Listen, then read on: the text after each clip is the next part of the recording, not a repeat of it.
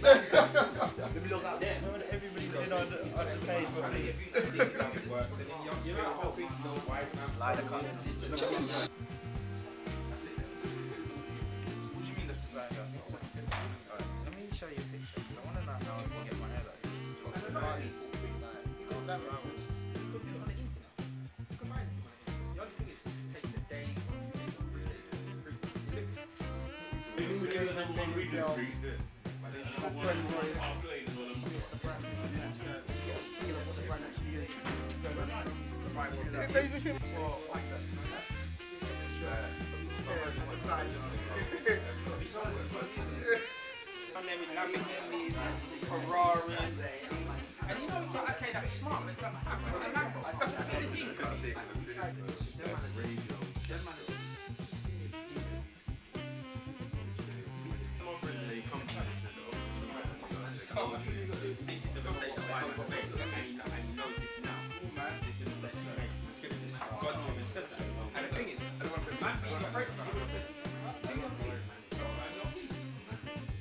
you know, like, your um,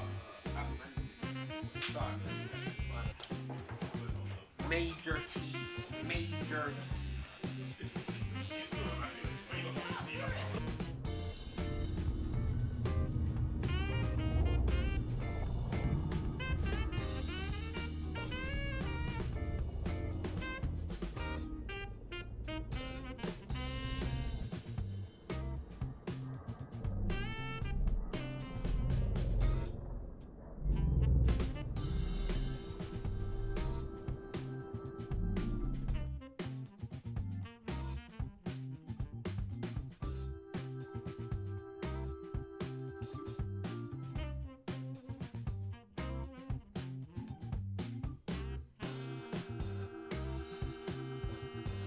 Your, your laptop again. See, this is what you have to realize that every beard is different. Everybody's skin is different.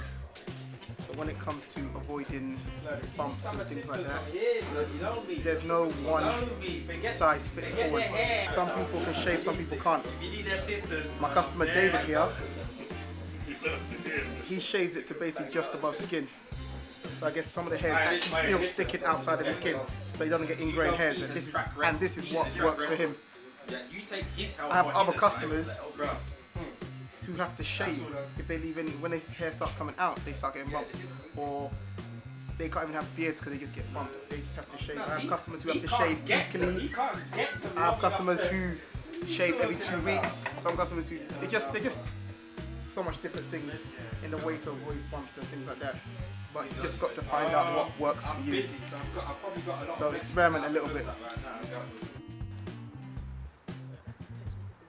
Yeah, so someone like Slider, you see, their attention to detail is mad. He'll tell you that. You know your hairline's a little bit like this, but don't worry, I'll fix it. I was in my, I was Time in to my, kelking him my up. photos. He makes it look perfect no matter what angle you're at. Like I see him with other customers and I see the way like no trim is the same. It's all tailor made for that client. Do you know what I mean? Go through his Instagram, go through his pictures. You'll see that he, he's a specialist in what he does. He's not just a barber. It's, it's what's mad. He's he's just that guy. That guy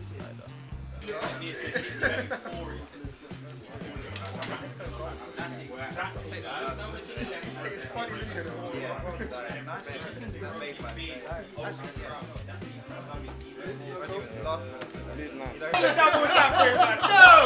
You don't come with different expectations? Different expectations from what I saw is Project Fixer, man. That's what it is. All curl kinged up now. All curl kinged up now. You see how that was? He went from like a neat microphone type afro on top, and um, yeah, the Kurl King transformed his life.